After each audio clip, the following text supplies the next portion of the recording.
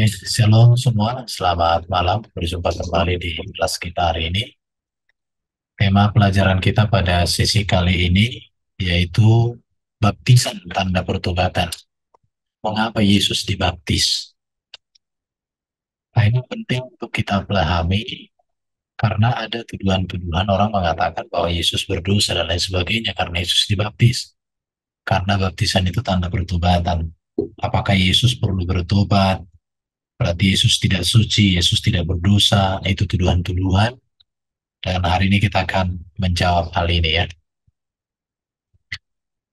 Adapun materinya dari Matius pasal 3 ayat 17 sampai dengan eh 13 sampai 17 dikatakan begini.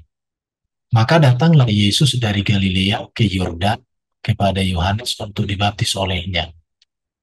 Tetapi Yohanes mencegah dia katanya, Akulah yang perlu dibaptis olehmu, dan engkau datang kepadaku. Lalu Yesus menjawab, katanya kepadanya, Bila hal itu terjadi, karena demikianlah sepatutnya kita menggenapi seluruh kehendak Allah. Dan Yohanes pun menurutinya. Sesudah dibaptis, Yesus segera keluar dari air, dan pada waktu itu juga langit terbuka, dan ia melihat roh Allah seperti burung merpati turun ke atasnya. Lalu terdengarlah suara dari surga yang mengatakan, Inilah anakku yang kukasihi, kepadanya lah aku berkenan. Jadi di sini jelas Yesus dibaptis oleh Yohanes. Di ayat lain, contoh di Matius 3 ayat 11, nanti akan kita baca, dikatakan, Aku membaptis kamu sebagai tanda pertobatan. Maka dari sini muncul pertanyaan, mengapa Yesus dibaptis? Apakah Yesus harus bertobat? Nah, itu ya. Sekarang kita masuk kepada baptisan. Kalau baptisan di sini, kita harus mengerti bahwa ada perbedaan makna antara baptisan Yesus dengan baptisan Yohanes. Dan yang kita bahas di sini adalah baptisan Yohanes. Orang Yahudi itu terbiasa dengan ritus-ritus perbersihan. Jadi baptisan ini merupakan salah satu dari bentuk ritus perbersihan di mana ini bisa dibaca secara lengkap di Imamat pasal 11 sampai 15. Di Imamat pasal 11 sampai 15 itu di situ sangat banyak hal-hal yang harus disucikan, harus dibersihkan. Termasuk banyak hal ya contoh kayak wanita ketika datang pulang termasuk baru binatang yang haram dan halal. Pentahiran sesudah melahirkan nah itu dibicarakan di sana. Kemudian kalau kita lihat nanti di pasal 13 tentang kusta bagaimana dia dinyatakan tangkir kemudian nanti kita lihat ketidaktahiran pada laki-laki dan perempuan dan lain sebagainya di situ ya. Bagi orang Yahudi seorang yang bukan Yahudi itu dipandang tidak bersih karena ia tidak pernah mematuhi bagian hukum agama Yahudi. Oleh karena itu, bila mana seorang non-Yahudi menjadi proselit, proselit itu artinya seorang non-Yahudi memilih jadi seorang berkeyakinan Yahudi. Artinya di sini dia bertobat dan memeluk iman Yahudi, maka ia harus menjalani tiga hal yaitu yang pertama disunat. Jadi seorang non Yahudi ketika mau hidup sebagai orang Yahudi secara iman, maka dia harus disunat. Dan ini keharusan karena ini merupakan tanda perjanjian di kejadian 17. Kemudian dia juga masuk di dalam kurban. Ini juga harus dibuat karena yang penebusan dan hanya darah yang dapat menebus dosa. Itu nanti bisa dibaca di Ibrani 9 ya. Kemudian ketiga dibaptis. Di mana baptis ini merupakan bersih atau pertobatan dari semua kekotoran di masa lalu. Jadi baptisan yang dilakukan oleh Yohanes itu merupakan sebuah pembersihan atau pembersihan atau pertobatan dari semua kekotorannya di masa lalu. Artinya ada sesuatu hal yang harus diselesaikan, harus dibersihkan dari semua di masa-masa lalu itu, sehingga menjadi sesuatu yang baru. Itu esensi dari baptisan Yohanes. Praktek baptisan ini dilakukan Yohanes sebagai pembersihan dan praktek ini disebut sebagai sama dengan mikve, yaitu sebuah mandi untuk tujuan ritual pencelupan, di mana di dalam ini tuh mencapai kemudian ritual. Demikiannya contoh ya, setelah on kiri, kiri itu artinya keluar air mani secara normal, atau setelah on siapa keluar cairan tubuh yang tidak normal, atau termasuk juga nida atau menstruasi ya. Kemudian pembaptisan ini juga penyucian itu, pemurnian ini dilakukan setelah orang tajar atau keluar kulit tertentu seperti kusta. Atau ketika seorang kohen imam sedang imam sedang dikuduskan. Jadi seorang imam itu ketika dia dikuduskan untuk masuk dalam pelayanan, itu masuk dalam praktek mikve ini atau baptisan. Kemudian orang yang pindah agama ke Yahudi, laki-laki dan perempuan itu juga masuk dalam pembaptisan. Seperti yang saya jelaskan tadi. Tetapi juga pembaptisan itu dilakukan pembersihan bencana dan perkakas yang diperoleh dari orang Yahudi yang digunakan untuk makanan. Jadi kalau ada perkakas dari orang-orang non-Yahudi dan itu diberikan kepada orang Yahudi, maka wajib dibersihkan, dibaptiskan. Tetapi dari beberapa bentuk dan ciri lagi lainnya, dari beberapa bentuk atau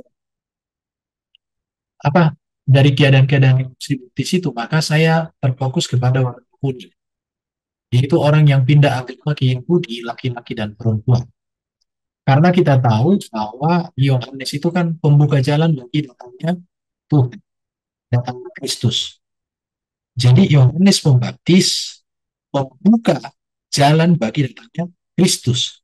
Dan jalan yang dibuka oleh situ adalah melalui atau di dalam yang namanya ritus atau ritual atau pemurnian baptisan.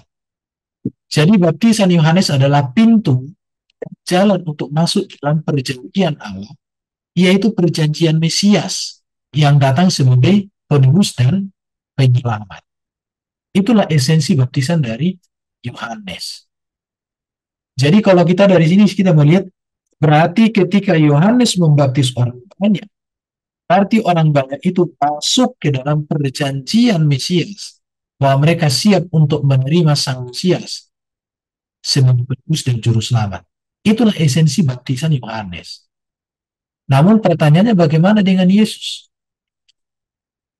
Apakah dia harus dibaptis? Maka boleh saya katakan sebelum saya tunjukkan data-datanya nanti, berarti Yesus pun ketika dibaptis itu, dia masuk ke dalam perjanjian Mesias dan menyebutkan dirinya itu.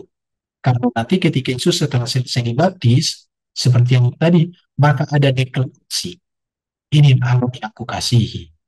Jadi kalau orang-orang lain dibaptis oleh Yohanes, maka melalui baptisan itulah pintu jalan mereka masuk dalam perjanjian Mesias. Dan mereka menerima perjanjian Mesias di dalam baptisan itu. Sedangkan Yesus adalah masuk di dalam baptisan itu artinya dialah yang menyatakan dirinya sebagai Mesias itu. Sebab di dalam baptisan itu, di akhir ayat yang kita baca tadi dikatakan, inilah anakku yang kukasihi, kepadanya aku berkenan, dengarkanlah dia. Ini jadi penarasi, nanti saya tunjukkan ya. Jadi pertanyaan, jika di dalam Matius pasal 3:11, aku membaptis kamu dengan air sebagai tanggung tetapi ia yang datang kemudian daripadaku lebih berkuasa daripadaku, dan aku tidak layak melepaskan kasutnya. Ia akan membaptiskan kamu dengan roh kudus dan dengan api. Perhatikan di sini. Yohanes pada dasarnya tidak bersedia untuk baptis Yesus. Karena Yohanes tahu. Dan Yohanes mengatakan, aku yang harus dibaptis olehmu. Maka aku membaptismu. Karena Yohanes tahu bahwa baptisan itu adalah mempersiapkan bangsa Israel atau orang-orang Naguri secara khusus untuk mendapat bagian dalam perjanjian Mesias atau bangsa Israel masuk di dalam perjanjian Mesias itu. Jadi pertobatan mereka itu adalah pengharapan mereka kepada Mesias itu menjadi jelas. Tetapi di sini kita lihat, tetapi ia datang dan kemudian, dan tetapi ia yang datang kemudian daripadaku, ia lebih berkuasa. Perhatikan ya.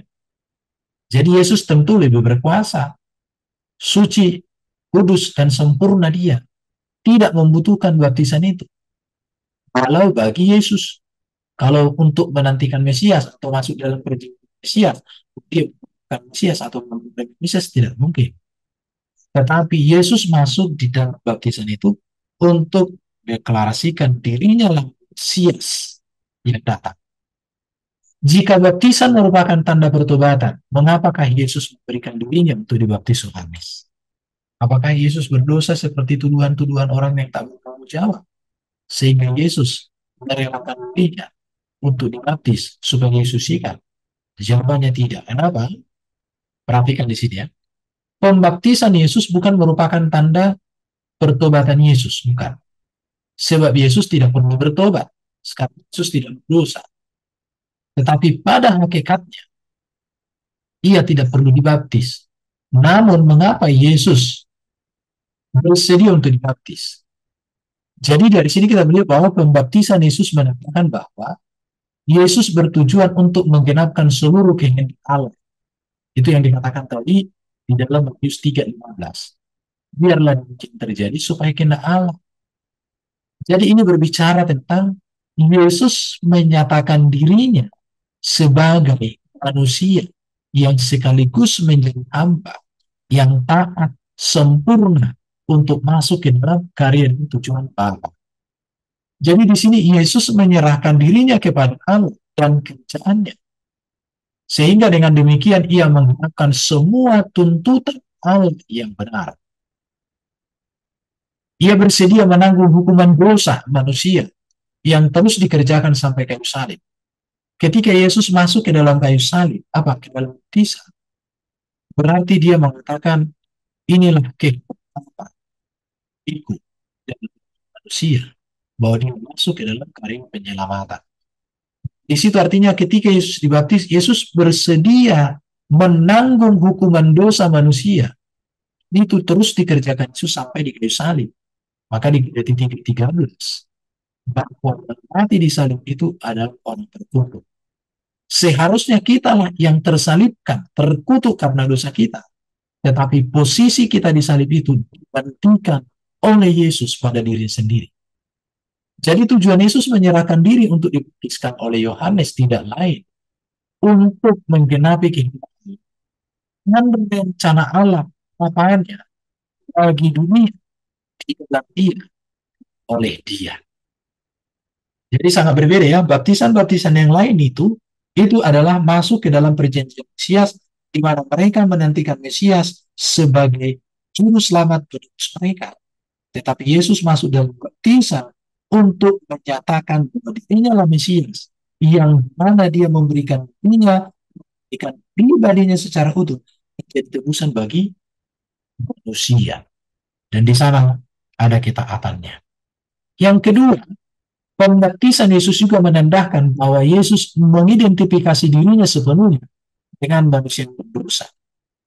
Artinya apa? Di sini Yesus menempatkan diri setara dengan orang berdosa sekalipun ia sendiri tidak perlu bertobat dari dosa. Nah, Yesus tidak berdosa. Karena dikatakan Yesus lahir dari roh kudus. Yesus adalah firman manusia, di mana dia manusia mulia, manusia yang sempurna. Jadi Yesus tidak membutuhkan itu, tetapi Yesus menempatkan dirinya setara dengan orang berdosa. Inilah yang disebut dengan mana Yesus itu sama dengan kita dia memiliki kemuliaan yang tidak dipertahankan, tetapi dia mengambil rupa seorang hamba. Tapi kita diselamatkan. Jadi itu makna baptisan. Yang kedua makna di sini. Yesus mengidentifikasikan dirinya sepenuhnya dengan manusia yang berdosa. Artinya menempatkan diri setara dengan orang berdosa supaya memenuhi itu dia membus dan menyelamatkan manusia dari kutuk dosa tetapi dia tidak berdosa dan luar biasa Yesus ya. Yang ketiga, baptisan Yesus menandakan bahwa Yesus menghubungkan dirinya dengan gerakan baru dari Allah yang memanggil setiap orang kepada pertobatan. maka perlu kita perhatikan pesan Yohanes Pembaptis sebagai penyuluh Mesias. Di dalam Yohanes 1 ayat 23, 32 dan 33. Jadi Yesus menghubungkan dirinya dengan gerakan yang baru, seperti tadi katakan. Baik Yesus mengawali karya pengurusan itu ketika dia mengaktifkan dirinya jadi sama dengan si berdosa dan ketika dia menundukkan dirinya taat kepada sang Bapa di surga yang darinya dia berasal yang mengutus dirinya. Yang berikut yang keempat, pembaptisan Yesus menandakan bahwa Yesus memberikan teladan. Contoh kepada umat manusia tentang kepatuhan. Contoh tentang ketundukan dan ketaatan kepada otoritas Allah Bapa di surga. Di mana supaya firman Allah digenapi. Jadi dia memang memberikan teladan ketaatan. Ketika Yesus yang suci dan sempurna memberikan dirinya masuk ke baptisan, ini sebuah teladan teladan ketaatan, teladan ketundukan, teladan di melakukan tindak Bapa secara utuh dan sempurna. Ya di situ ya. Jadi demi menggenapi rencana Allah atas manusia, Yesus rela melakukannya seperti katakan Filipi 2 5 sampai 11. Hendak memasuki umat Allah yang baru yang yang Yohanes telah persiapkan untuk menjadi Jadi baptisan Yesus menjadi langkah awal bagi tindakan penyelamatan yang Yesus lakukan. Jadi ini langkah awal di mana Yesus menyatakan karya pengurusan itu. Karena setelah baptisan itu baru Yesus mengawali pelayanannya, menyatakan kemesiasannya, menyatakan kenabiannya, menyatakan ketuhanannya, kepenguasaannya. Di tengah-tengah pelayanan itu diawali atau berawal dari ketika Yesus mengambil posisi masuk dalam kisah. Ini yang harus dipahami. Oke. Okay. Kemudian mengapa Yesus dibaptis? Karena di dalam baptisan inilah ada informasi Allah Bapa siapa Yesus. Karena dikatakan di situ di dalam Matius pasal 13 Roh Allah turun ke atasnya dalam rupa burung merpati. Segala sesuatu yang dilakukan oleh Yesus, perhatikan di sini mengajar, menyembuhkan, mengadakan mujizat, lain sebagainya. Bahkan sampai Yesus menderita, kemudian memperoleh kemenangan atas dosa, atas iblis, telah dilakukan dengan kuasa roh kudus. Perhatikan ya. Jadi ketika Yesus habis, maka di sini ada deklarasi tentang siapa Yesus, apa akan karya yang sudah biasa di dalam dan melalui Yesus rohnya sendiri, roh kudus, roh Allah. Di situ ya. Jadi Yesus tidak dapat melakukan sesuatu pun tanpa kuasa roh kudus, apalagi kita. Jadi karya keselamatan yang dikerjakan Yesus itu adalah karena Pak Firman dan Roh Kudus itu sendiri. Roh Kudus turun, Roh Kudus turun ke atas Yesus untuk memperlengkapi Yesus dengan kuasa dalam melaksanakan karya penebusannya.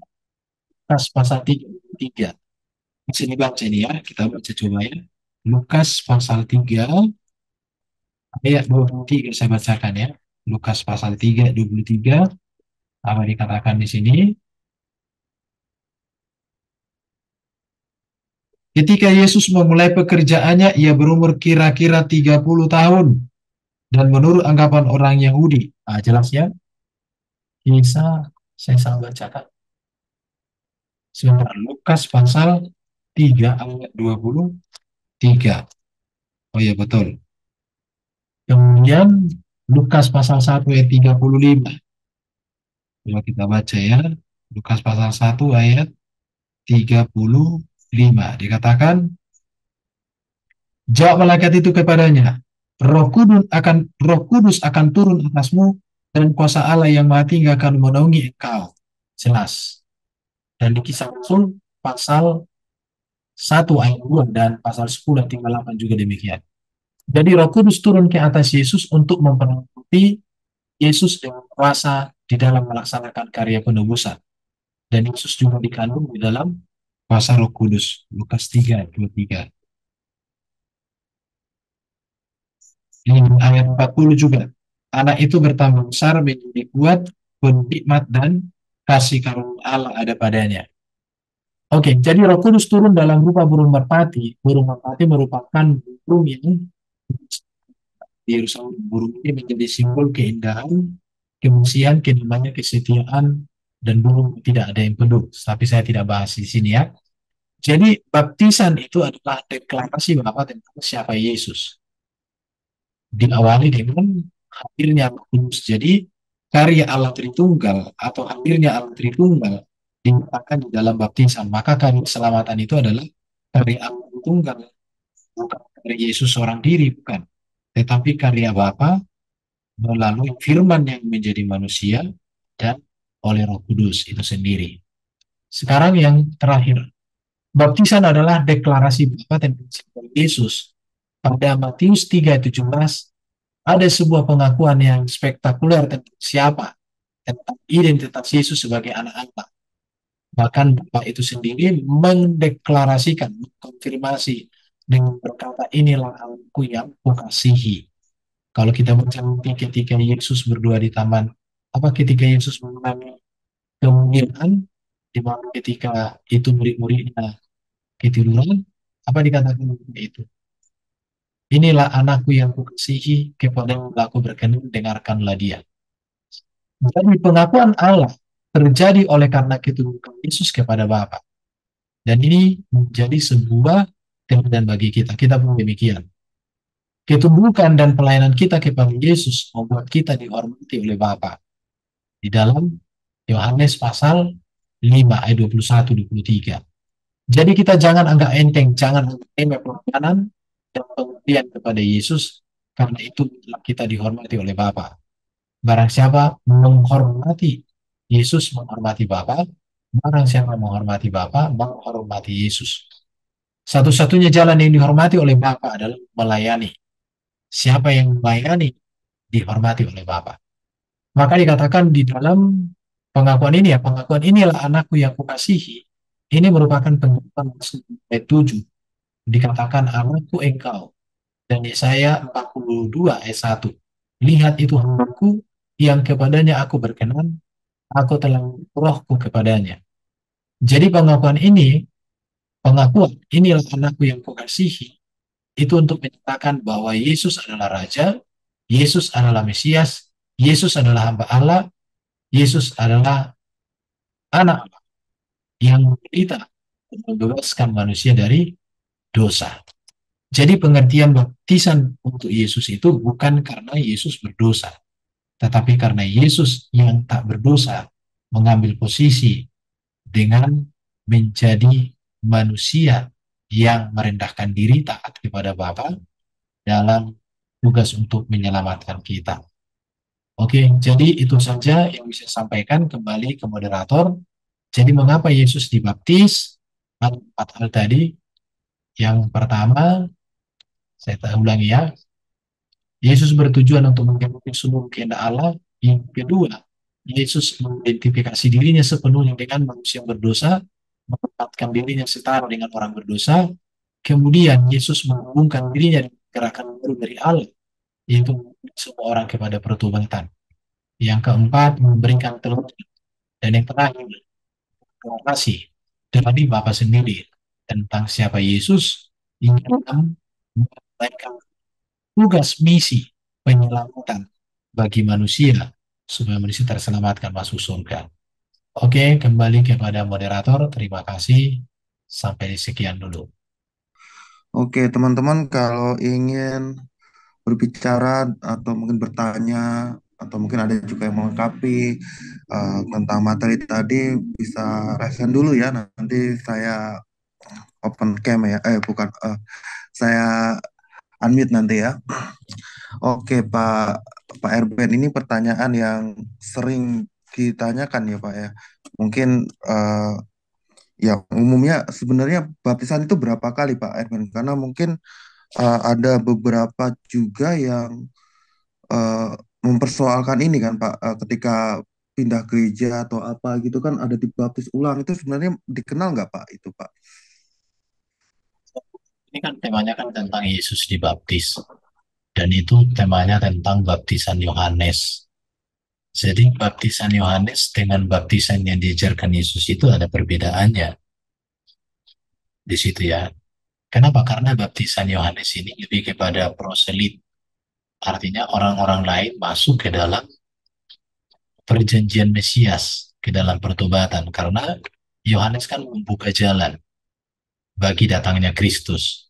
Dan Yohanes membuka jalan itu melalui namanya baptisan, yaitu tanda pertobatan.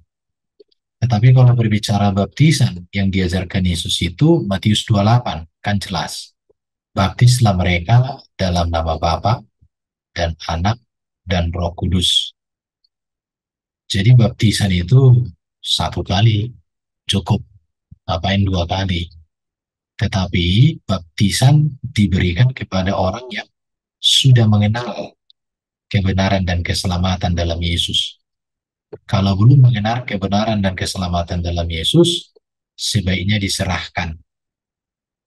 Itu berdasarkan apa yang dilakukan oleh Yesus ya. Jadi anak kecil diserahkan karena Yesus katakan serahkanlah anak-anak itu datang kepada aku. Tetapi ketika orang sudah mengerti dan mengenal kebenaran tentang Yesus, itulah yang dibaptis dan itu cukup satu kali. Tidak perlu dua kali. Yang membaptis dua kali itu sama dengan tidak mempercayai otoritas dan kuasa Tuhan. Baru ada perbedaan ya, di dalam kisah Rasul ada juga orang baptis dalam nama Yesus, tapi ingat ya, di kisah Rasul itu tidak berbicara formula baptisan, tetapi berbicara tentang kalau formula baptisan itu ada di Matius 28. Baptis dalam nama Bapa dan Anak dan Roh Kudus. Itu formulanya. Tapi di kisah Rasul itu bukan formula, tetapi pentingnya mengajar dan membaptis orang di dalam dan otoritas dan ajaran Yesus Kristus. Itu esensinya. Bisa dipahami, bro? Atau ada mau dipertajam? Nah, jadi esensinya adalah formula baptisan itu ya, bukan tata cara baptisan. Apakah harus dipercik Islam itu uh, itu nggak terlalu penting. Yang penting adalah formulanya ya Pak ya atas nama Bapa Putra dan Roh Kudus itu ya Pak. Ya, esensi baptisan itu kan di dalam nama Bapa, Anak, dan Roh Kudus. Dan orangnya sudah mengerti tentang siapa Bapa, siapa Anak, dan siapa Roh Kudus. Gitu. Kalau masalah untuk dipercip atau selam itu kepada gereja masing-masing lah. Tetapi kalau saya dan saya belajar Alkitab, lebih bagus memang dengan air yang banyak ya, air yang banyak karena kalau kita mengacu kepada Yohanes, itu kan menggunakan air yang banyak, bukan dipercikkan, tapi memang dibasuh dan dibersihkan. Contoh kalau seorang wanita lagi datang bulan, ya dibersihkan. Seorang laki-laki tidur, barangnya kayak mimpi basah, ya dibersihkan, dimandikan. Jadi air yang banyak. Kalau mengacu kepada ajaran Yohanes. Tapi kalau ada gereja hanya dipercik, iya. mereka juga punya alasan ya. Contoh, ketika terjadi pertobatan massal di Tanah Batak, sementara yang melayani adalah hanya nominasi seorang diri, maka dia tidak memungkinkan untuk membaptis orang itu satu-satu. Ya dia perciklah biar cepat selesai. Jadi itu ada konteksnya. Contoh, pernah juga dijelaskan sama Pak Petrus.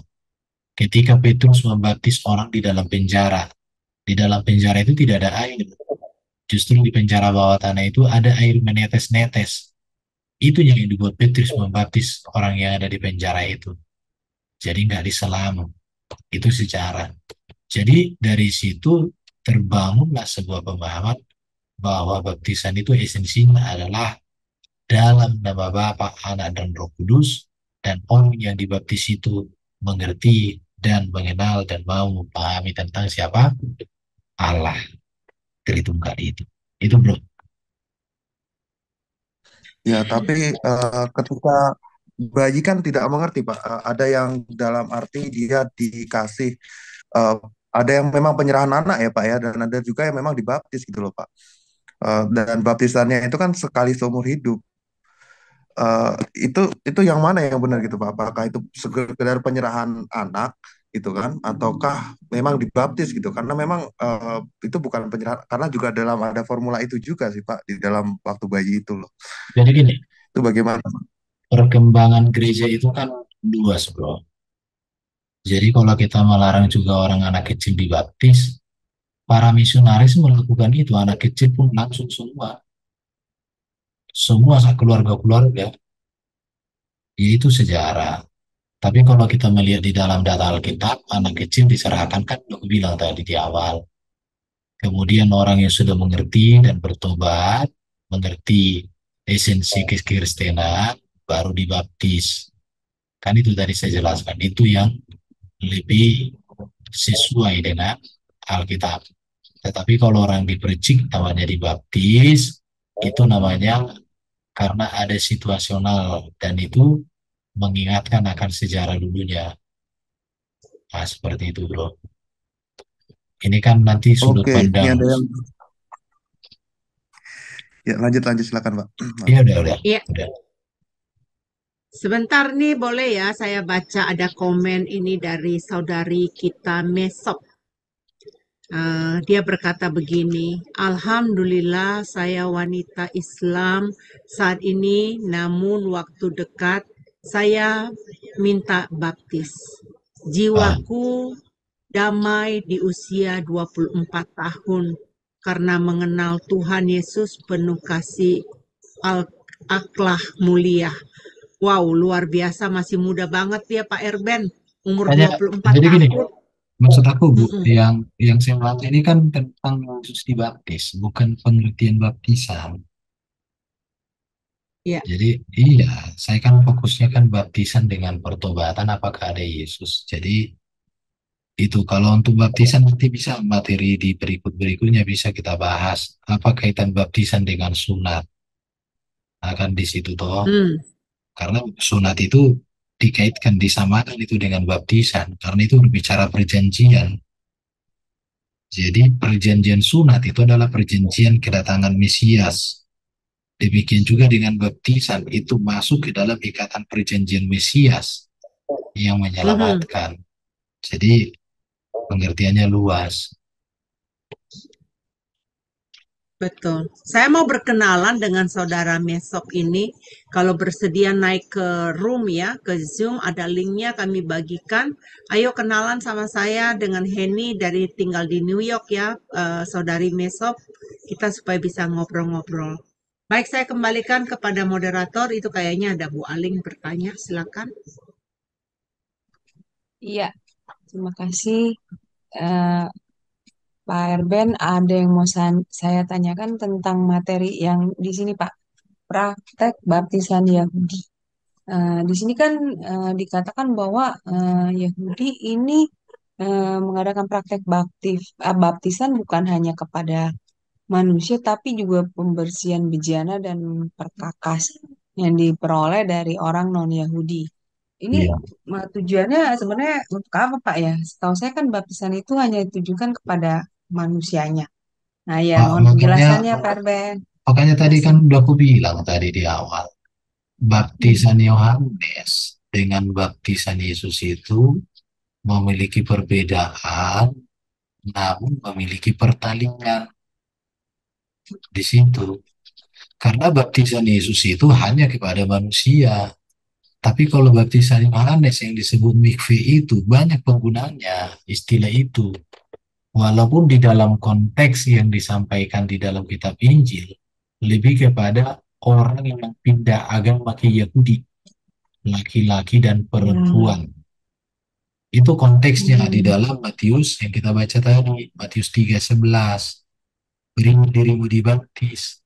Dibaptis di situ berbicara penyucian, pembaruan. Itu esensinya. Jadi memang ada perbedaan karena baptisan Yohanes tidak dibaptis di dalam nama Bapa, Anak dan Roh Kudus. Baptisan di dalam nama Bapa, Anak dan Roh Kudus itu ajaran Yesus. Makanya saya katakan kita bedakan walau memiliki historitas yang saling berkaitan. Nah, seperti itu penjelasan saya. Oh iya iya. Oke. Beda Saya toh? tadi agak telat masuk. Iya, makanya Ketinggalan. jangan jangan disamakan ya. Jadi kalau orang Iya, iya. katakan kan Yohanes membaptis Yesus di sungai. Esensi baptisan Yohanes itu kan mikveh, orang Yahudi, pembersihan. Hmm. Mm-mm. Artinya, Yohanes itu kan membuka jalan bagi datangnya Kristus. Maka terjadilah pembersihan. Pembersihan itu berbicara tentang pengurusan hidupnya di dalam menyambut kedatangan Mesias. Hmm. Itu konteksnya toh. Ya, Ah, ya terima kasih Pak Erben untuk penjelasannya. Oke oke sama-sama. Iya, itu satu lagi Pak Evan. Eh, dalam pembersihan itu bukannya ada yang dipakai juga di gereja ya, mungkin nggak semua gereja pakai itu. Lebih seperti blessing gitu ya, diberikan berkat. Itu kan juga ada Pak, benda-benda yang sebenarnya benda-benda buat liturgi itu kan juga ada yang dia dibersihkan, kemudian juga memakai nama eh, formula baptisan dalam arti ya dalam atas nama Bapa, Putra dan Roh Kudus itu juga di blessing gitu loh Pak. Kan ada juga gereja yang seperti itu Pak. Apakah itu juga termasuk pembersihan yang Bapak maksud di Yahudi seperti yang tadi gitu Pak? Oh, itu kan artinya harus melalui air. Harus. Contoh dikatakan pembersihan bejana dan perkakas yang diperoleh dari orang non-Yahudi yang digunakan untuk makanan. Jadi kalau ada orang non-Yahudi memberikan perkakas, itu harus dibersihkan secara Yahudi. Sampai segitunya ya. Baru setelah orang ibaratnya kusta itu dimandikan untuk menguji kesuciannya udah sembuh apa enggak.